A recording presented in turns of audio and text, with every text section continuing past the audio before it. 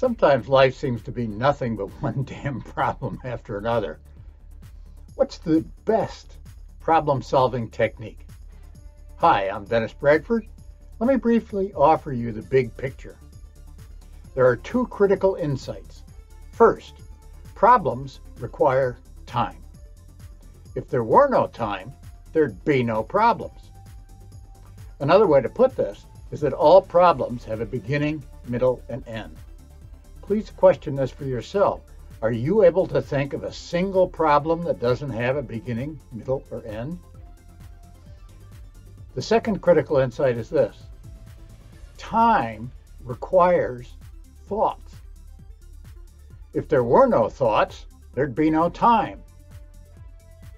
Therefore, since problems require time and time requires thoughts, problems require thoughts.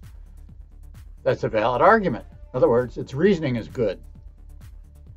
Really understanding the truth of its two premises, though, is difficult and far beyond the scope of this short video. Here, though, is a concrete example that may help.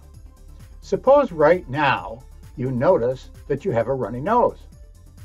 That's not a problem in itself. It's only a momentary challenge. When we're foolish, though, what we do is think our way into turning this challenge into a problem. Oh, woe is me, I have another cold. It'll be another seven to ten days of misery. we attach to that thought, and it becomes an unwanted emotion and a self fulfilling prophecy. What's the alternative? Stop resisting reality. Accept the fact that you have a runny nose and simply drop any thoughts or emotions about it. How? Practice dropping thoughts. The more you develop that habit, the fewer prolonged unwanted emotions you'll have. If you suffer with colds and other problems, then that's how to dissolve them. I'd stop that if I were you. Why be miserable? The more you cling to thoughts, the more miserable you'll be. No thoughts, no suffering. Now there's an important idea. As the recent sage David R. Hawkins wrote, quote, all opinions are worthless. They are all vanities and have no importance or intrinsic merit. End quote. Wow.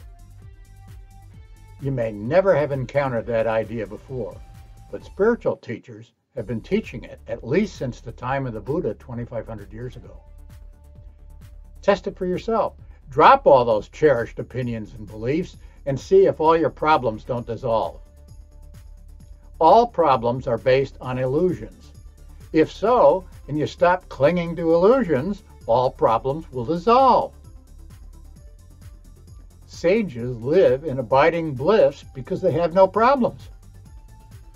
I've previously discussed that in other videos and intend to do so again. If you find this video stimulating, I hope that you'll like it and share it and comment on it. Also, if Hawkins' ideas interest you, consider my short, recently published introduction to his thinking, namely Living Well according to David R. Hawkins. Living Well, according to David R. Hawkins. It's available uh, uh, at Amazon.com um, in either paperback or Kindle format.